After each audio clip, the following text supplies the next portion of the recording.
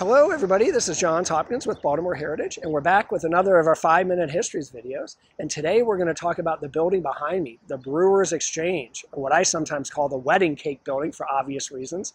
I just want to say, though, before we jump in, um, that it's the time of the year that normally at Baltimore Heritage would be starting our neighborhood walking tour series. Um, again, this year we are canceling that out of uh, an abundance of caution, but we have started in person tours at Greenmount Cemetery, and as the spring and summer roll along, I'm roll along, I'm sure we're going to expand this. So hang in there with us, please, and stay tuned.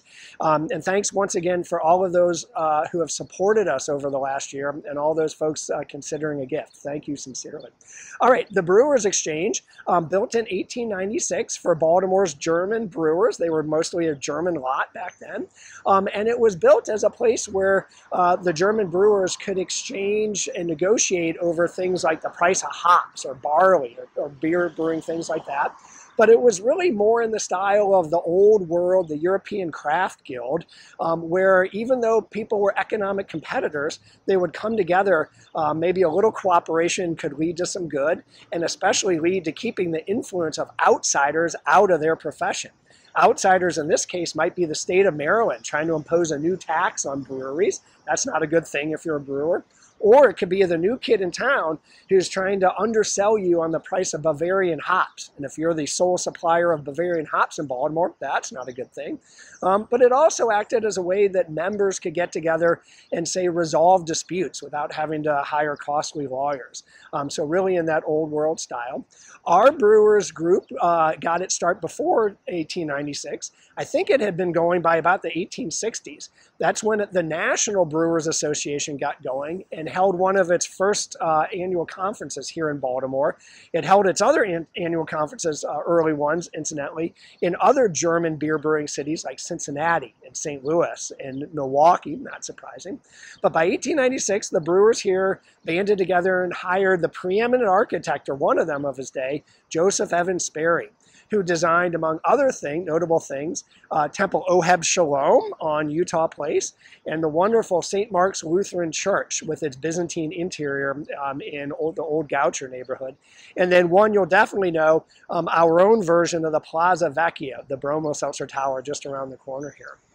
Um, so speaking of architecture, this building, which is uh, Renaissance Revival, is really known as one of Baltimore's uh, best examples of terracotta work in the city.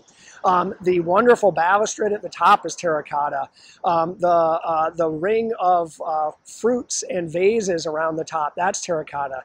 The first floor is terracotta. The tops of the columns are terracotta. And if you're wondering, they are ionic columns, ionic terracotta columns. Um, all of that is terracotta.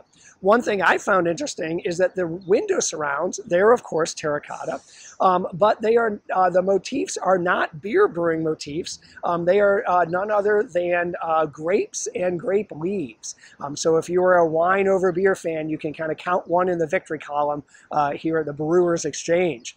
Um, one, we know, for example, where uh, Joseph Evans Sperry, the architect, got his uh, motivation for the Bromo Seltzer Tower. Um, the indomitable owner, Captain Isaac Emerson, had gotten back from Florence and said, hey, architect Sperry, build me one of those here. So we know where he got his uh, motivation there.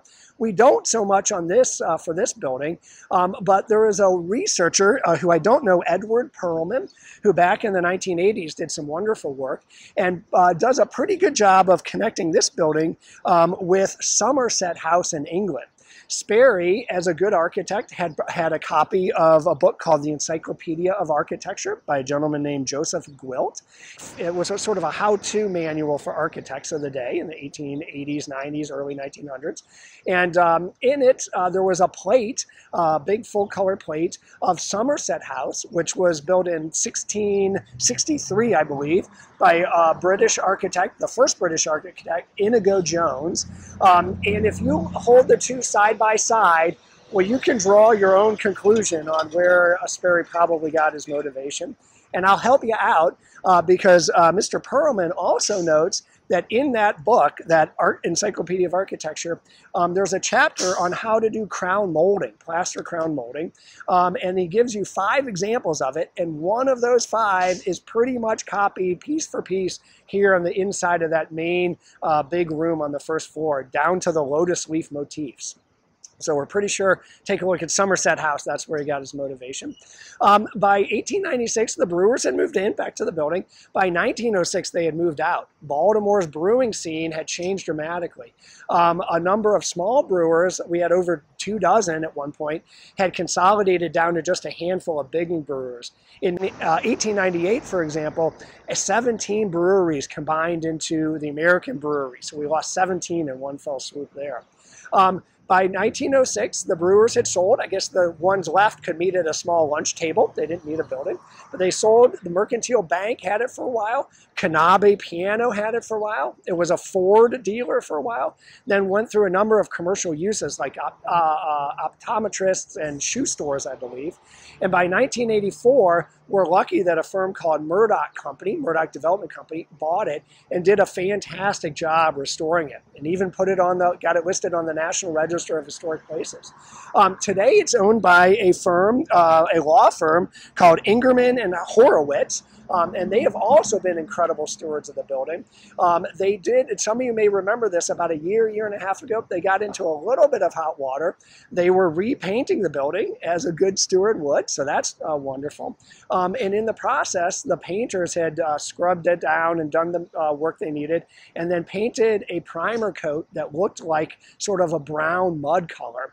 And as it was drying and the days went on, the panic level in Baltimore rose, um, including, I'll admit, me. And thought, oh no, the wedding cake building is turning brown. Um, the law firm put out a statement that basically said, hold on, everybody, it's just a primer. Uh, we'll get it to white in a minute. And that they did. So uh, come on down, take a look at this wonderful 1906 building, see if you can spot the, uh, the Vintners uh, uh, motifs on this brewing building, um, and marvel at its terracotta work. All right, thanks so much, and we'll see you next time.